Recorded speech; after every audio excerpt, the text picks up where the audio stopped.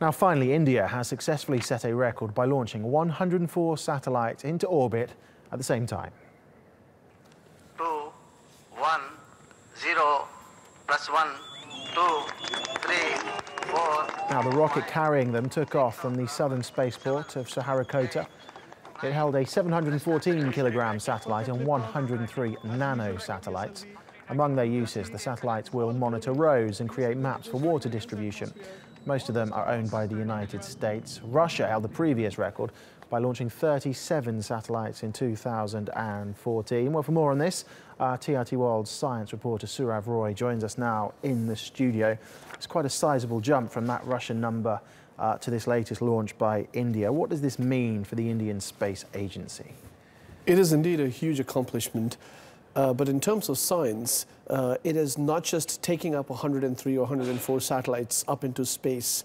It's also successfully deploying them in orbit, which means a lot of complicated math and a lot of complicated physics into it.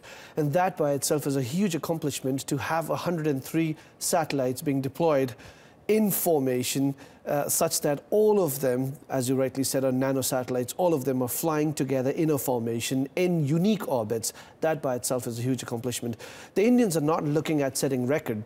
They're looking at maximizing their capacity, which means that they're looking at pushing the next frontier. What could be the next frontier for them?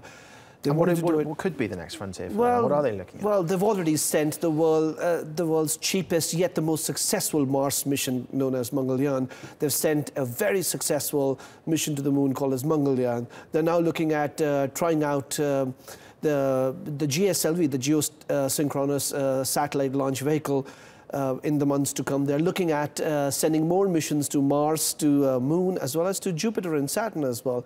And uh, uh, if, if one has to go by what the space agency ISRO says, the Indian Space Agency, they're looking at one launch a month.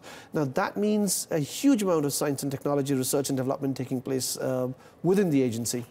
And, and just how big an achievement is this? We've touched on the, on the, the, the figures. Why exactly are they spending so much money, putting so much effort into this?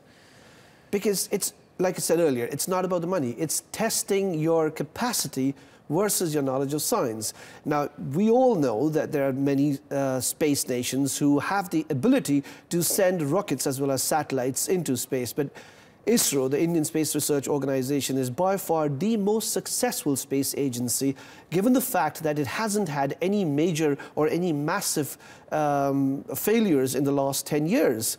Uh, it, it has had some of its accomplishments, some of them minor, some of them major, but yeah, this is a huge accomplishment for them in the long run. Okay, fascinating stuff. Sourav Roy, thank you very much as always.